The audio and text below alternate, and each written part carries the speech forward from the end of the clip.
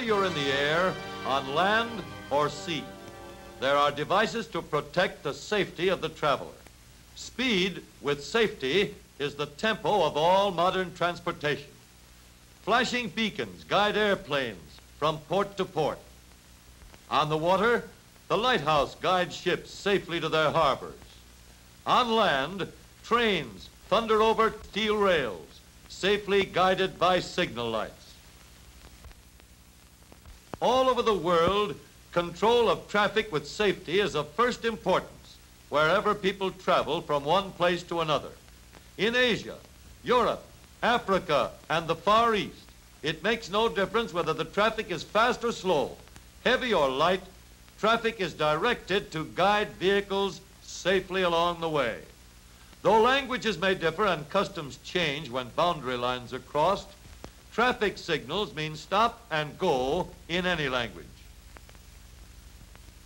And in America today, though great highways stretch across the country, the motorist is never away from traffic control. Sooner or later, he comes to a city with its crowded streets, where traffic police are the finest in the world, and traffic moves under positive, safe control. Streets in the United States are crowded with fast-moving automobiles, and in practically every city and town today, the motorist finds traffic lights to aid him on his way. Pedestrians and drivers alike owe the automatic traffic signal a vote of thanks.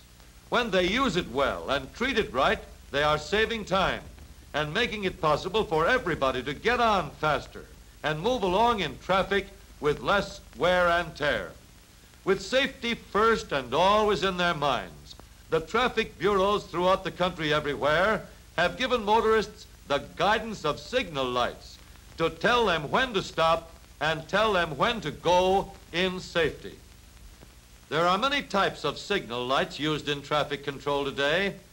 Some towns use lights with only two colors, while other towns use three colors, and still others have traffic control built around a four-color system. In some cities, the lights are so arranged that drivers must stop on the amber light. In other towns, drivers may go on amber and green. In still other communities, the amber light alone appears on both sides at the same time. Some cities have lights which are augmented by semaphores, while in other cities, the lights look like little houses hanging from wires. Even now, traffic engineers are working with safety councils toward a national standardization of the traffic signal system. And there is every prospect that as soon as it is feasible, motorists will travel from border to border and from coast to coast and meet the same old friend with the same clear message all the way. Traffic lights play no favorites. The traffic signal puts you level with the world and keeps you even with safety regardless of what car you drive. And although the perfected hydraulic brakes on modern motor cars will bring the car to a smooth, quick stop, racing lights is hard on the tires as well as on the nerves. Automatic traffic signals Wait for no driver.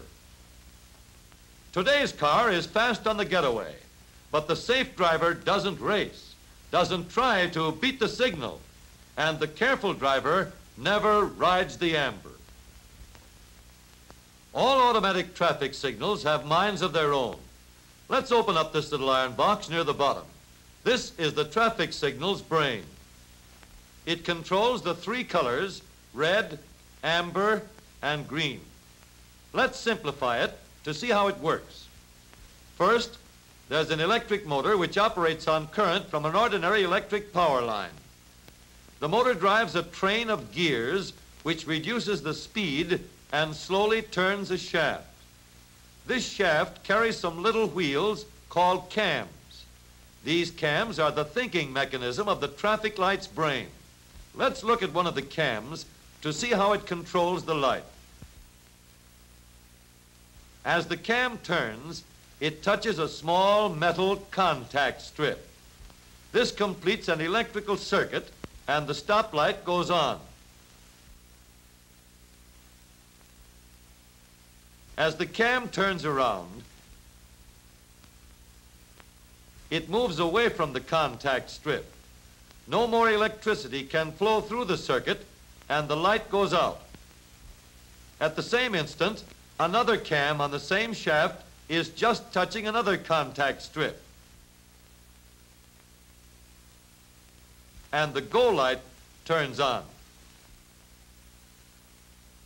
The cams are arranged so that the stop and go lights alternate or change directions each time the shaft goes around. The controls for all the lights on the signal box work on the same principle. When the red light is on for, say, the main street, the green light is on for the side street and the amber light is off.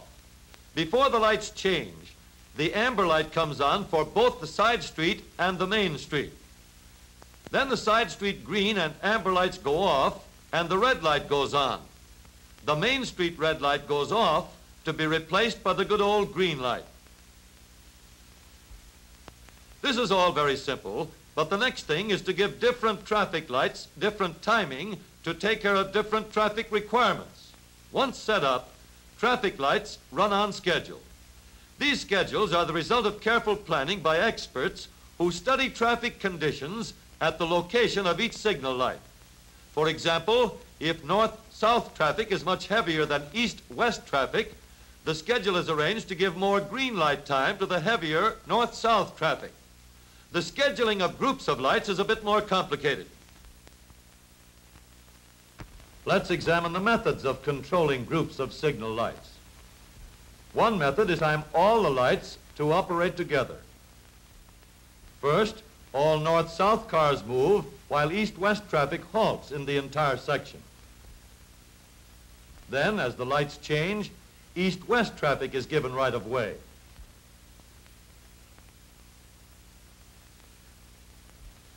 However, this system will not work in all locations.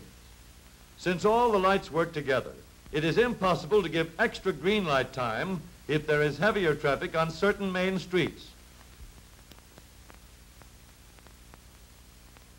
So, on some main thoroughfares, a flexible progressive system permits adjustment for heavy traffic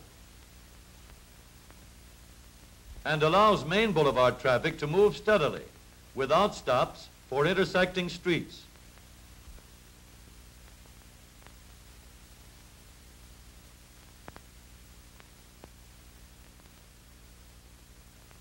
In order to get the greatest advantage from the lights, the driver must time his speed to the schedule of the lights.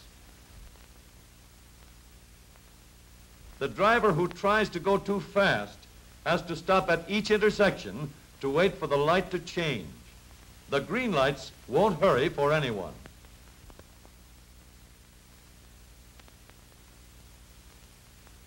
But the driver who fits his speed to the schedule of the lights keeps moving comfortably and safely.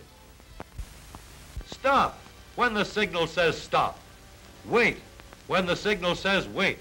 And go only when the signal says go. The safest way to drive and the best way to make time is to gear your driving in with the lights, seeing green all the way.